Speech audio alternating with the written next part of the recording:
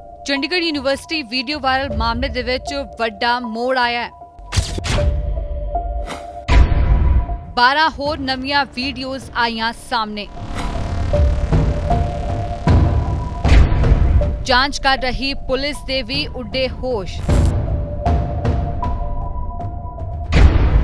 ਆਰੋਪੀ ਲੜਕੀ ਦੀ ਹੀ ਹਨ ਨਵੀਆਂ ਵੀਡੀਓਜ਼। ਮਾਮਲੇ ਦੇ ਦਿੱਲੀ, ਮੁੰਬਈ ਤੇ ਗੁਜਰਾਤ ਨਾਲ ਜੁੜੇ ਤਾਰ। ਵਿਦੇਸ਼ੀ ਕਨੈਕਸ਼ਨ ਦੀ ਵੀ ਗੱਲ ਆਈ ਸਾਹਮਣੇ। ਮੋਬਾਈਲ ਦੀ WhatsApp ਚੈਟ ਕਰੇਗੀ ਵੱਡੇ ਖੁਲਾਸੇ।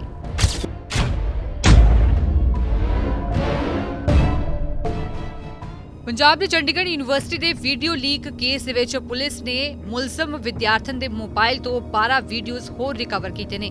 ਇਹ ਵੀਡੀਓ ਵੀ ਉਸੇ ਵਿਦਿਆਰਥਣ ਦੇ ਦੱਸੇ ਜਾ ਰਹੇ ਨੇ। ਪੁਲਿਸ ਨੇ ਮੋਬਾਈਲ ਤੋਂ ਬਾਅਦ ਹੁਣ ਲੜਕੀ ਦਾ ਲੈਪਟਾਪ ਵੀ ਕਬਜ਼ੇ 'ਚ ਲੈ ਲਿਆ। ਸ਼ੁਰੂਆਤੀ ਜਾਂਚ ਦੇ ਵਿੱਚ ਇਹ ਸਾਹਮਣੇ ਆਇਆ ਹੈ ਕਿ ਮੁਲਜ਼ਮ ਵਿਦਿਆਰਥਣ ਨੂੰ ਸਨੀ ਮਲਹੋਤਰਾ ਅਤੇ ਰੰਕਜ ਵਰਮਾ ਬਲੈਕਮੇਲ ਕਰ ਰਹੇ ਸੀ। ਉਸ ਦਾ ਵੀਡੀਓ ਵਾਇਰਲ ਕਰਨ ਦੀ ਧਮਕੀਆਂ ਦੇ ਕੇ ਦੂਸਰੀ ਵਿਦਿਆਰਥਣਾ ਦੇ ਵੀ ਅਸ਼ਲੀਲ ਵੀਡੀਓ ਮੰਗਵਾਏ ਜਾ ਰਹੇ ਸੀ। ਉਥੇ ਹੀ ਹੁਣ ਆਰੋਪੀਆਂ ਦੇ ਫੋਨ ਤੋਂ ਦਿੱਲੀ, ਮੁੰਬਈ ਅਤੇ ਗੁਜਰਾਤ ਦੇ ਵੀ ਲਗਾਤਾਰ ਕਾਲਸ ਮਿਲੀਆਂ ਨੇ। ਜਿਸ ਤੋਂ ਬਾਅਦ ਇਹਨਾਂ ਮੁਲਜ਼ਮਾਂ ਦੇ ਕਿਸੇ ਵੱਡੇ ਨੈਟਵਰਕ ਦੇ ਨਾਲ ਜੁੜੇ ਹੋਣ ਦੇ ਖਦਸ਼ੇ ਵੀ ਜ਼ਾਹਰ ਕੀਤੇ ਜਾ ਰਹੇ ਨੇ।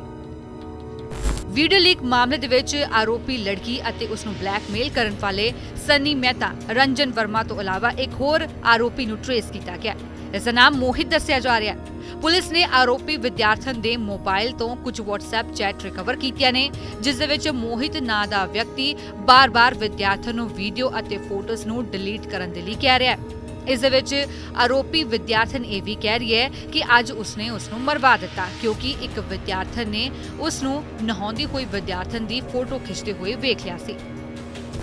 ਫਿਲਹਾਲ ਪੁਲਿਸ ਪੁੱਛਗਿੱਛ ਦੇ ਵਿੱਚ ਇਹ ਪਤਾ ਲੱਗਿਆ ਹੈ ਕਿ ਮੋਬਾਈਲ ਤੇ ਵੀਡੀਓ ਮੰਗਵਾਉਣ ਤੋਂ ਬਾਅਦ ਸਨੀ ਉਸ ਨੂੰ ਦੂਸਰੇ ਗੈਜਟ ਦੇ ਵਿੱਚ ਸੇਵ ਕਰ ਲੈਂਦਾ ਸੀ ਅਤੇ ਫਿਰ ਉਸ ਨੂੰ ਮੋਬਾਈਲ ਤੋਂ ਡਿਲੀਟ ਕਰ ਦਿੰਦਾ ਸੀ।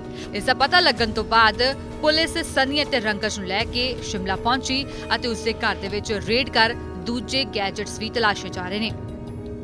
ਫਿਲਹਾਲ ਪੁਲਿਸ ਪੁੱਛਗਿੱਛ ਦੇ ਵਿੱਚ ਵਿਦਿਆਰਥਣ ਨੇ ਦੱਸਿਆ ਕਿ ਸਨੀ ਮਹਿਤਾ ਉਸ ਦਾ ਬॉयਫ੍ਰੈਂਡ ਹੈ ਅਤੇ ਉਸਨੇ ਸਨੀ ਨੂੰ ਆਪਣੀ ਵੀਡੀਓ ਭੇਜੀ ਸੀ। ਸਨੀ ਨੇ ਇਹ ਵੀਡੀਓ ਆਪਣੇ ਦੋਸਤ ਰੰਕਜ ਵਰਮਾ ਨੂੰ ਦੱਸੀ ਅਤੇ ਇਸ ਤੋਂ ਬਾਅਦ ਦੋਹਾਂ ਨੇ ਹੀ ਵਿਦਿਆਰਥਣ ਨੂੰ ਬਲੈਕਮੇਲ ਕਰਨਾ ਸ਼ੁਰੂ ਕਰ ਦਿੱਤਾ ਸੀ। ਐਨਾ ਹੀ ਨਹੀਂ, ਉਹਨਾਂ ਦੇ ਵੱਲੋਂ ਧਮਕੀ ਦਿੱਤੀ ਗਈ ਸੀ ਕਿ ਜੇਕਰ ਉਸਨੇ ਦੂਸਰੀ ਵਿਦਿਆਰਥਣਾਂ ਦੀ ਆਪੱਤੀਜਨਕ ਵੀਡੀਓ ਨਾ ਭੇਜੀ ਤਾਂ ਉਸ ਦੀ ਅਸ਼ਲੀਲ ਵੀਡੀਓ ਵਾਇਰਲ ਕਰ ਦੇਣਗੇ।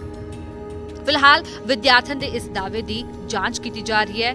ਪੁਲਿਸ ਨੂੰ ਇਸ ਪੂਰੀ ਕਹਾਣੀ ਤੇ ਸ਼ੱਕ ਵੀ ਹੈ। ਪੁਲਿਸ ਨੂੰ ਲੱਗਦਾ ਹੈ ਕਿ ਆਰੋਪੀ ਵਿਦਿਆਰਥਣ ਵੀ ਇਸ ਨੈਟਵਰਕ ਦਾ ਹਿੱਸਾ ਹੋ ਸਕਦੀ ਹੈ।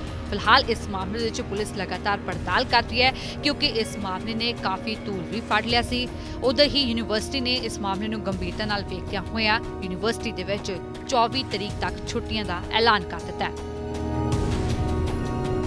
Bureau report, Dainik Savera TV.